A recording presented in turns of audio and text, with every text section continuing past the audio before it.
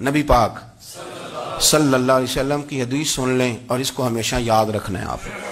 हुजूर ने फरमाया, अगर तूने किसी शख्स की ऐसी जगह तोहीन की जहाँ उसकी इज़्ज़त बनी हुई थी, तूने किसी को ऐसी जगह रुसवा कर दिया जहाँ उसकी इज़्ज़त किसी ने आपके सामने आके किसी आदमी की तारीफ़ की तो नहीं नहीं, तुम्हें नहीं पता, मैं बताता हूँ।